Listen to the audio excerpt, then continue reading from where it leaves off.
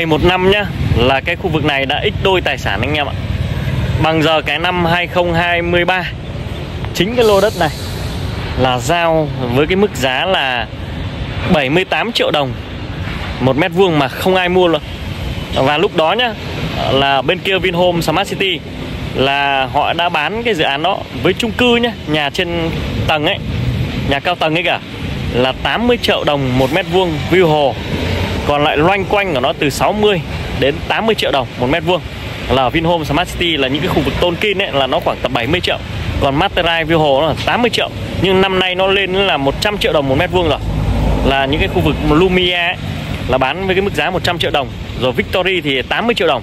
Thế thì cái năm ngoái tôi đã ra đây tôi chia sẻ với anh chị rất là nhiều cái cơ hội đầu tư ở khu vực này.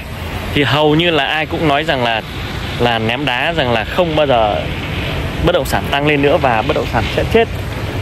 Thực sự đây là một cái cơ hội cực kỳ tiếc cho quý anh chị mà nó xảy ra thực địa là như vậy. Và hiện tại nó đã lên đến hơn gần 200 triệu đồng một mét vuông rồi. Tức là ít đôi tài sản trong vòng chưa đầy một năm. Và bởi vì sao bên kia là 58 tòa nhà chung cư của Vinhome Smart City 200.000 dân và có 11 ngân hàng nhé và đây sau này nó sẽ là trường học à, rồi công viên các thứ à. Đối diện luôn vì vậy mà rất là nhiều người nói rằng là cái cơ hội nó ở đâu? Nhưng mà thực sự là vàng nó ngay dưới chân quý anh chị. Vàng ngay trước mắt quý anh chị ngay trước mắt ống kính các bạn anh đang đang xem như thế này này. Đấy, những cái vị trí đắc địa nó giáp 200.000 dân và 11 ngân hàng đã ở đây rồi đúng không? Và 300 thương hiệu lớn nhỏ đã đổ hết về cái khu vực Vinhome Smart City để mà người ta kinh doanh. Đấy thì cái khu vực này là cái khu vực dịch vụ đồng mới An Thọ An Khánh Hoài Đức Hà Nội nhá.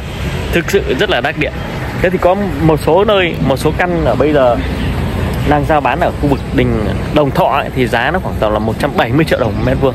Đấy, còn những cái lô góc ở đây lô góc đây thì người ta bán là 220 triệu thực sự là cũng hơi hơi cao đúng không? Nhưng mà nếu mà à, chắc thì để mà ích đôi được tài sản thì chắc chắn còn lâu. Nhưng mà đối với cái mức giá mà ví dụ 70 triệu đồng hoặc 80 triệu đồng bằng giờ cái năm 2023 thì nó lên đến 200 triệu đồng thì đã hai lần rồi đúng không?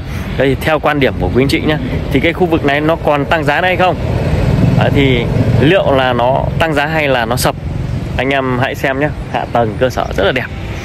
Anh em để lại cái bình luận bên dưới và thấy rằng là tìm muốn tìm cái cơ hội để mà nhân đôi tài sản của mình lên đúng không? Thì chỉ có tìm đến bất động sản thôi. Và nhà cửa các bạn nhìn nó xây khang trang đẹp lắm rồi. Hãy chia sẻ video này nhé cho nhiều người được biết nhé đây là chung cư 58 tòa nhà chung cư. Và khu vực này đang về đây xây dựng rất là nhiều. Bên cạnh là khuôn viên sau này là trường học. Và các bạn nhìn đây những nhà cao tầng rất đẹp. Chỉ vài bước chân là ra đường lớn nhá, đường liên thông giữa Vinhome Smart City và Vinhome Thăng Long ấy. Nếu mà anh em biết cái khu vực này thì để lại bình luận. Còn chưa biết thì hãy inbox cho tôi nếu mà trong trường hợp mà các bạn muốn đầu tư, kinh doanh làm nhà ở, đúng không? Quán cà phê hoặc là làm văn phòng ở khu vực này, xây được 7 tầng, rất là đẹp. Này, kiến trúc rất là đẹp luôn.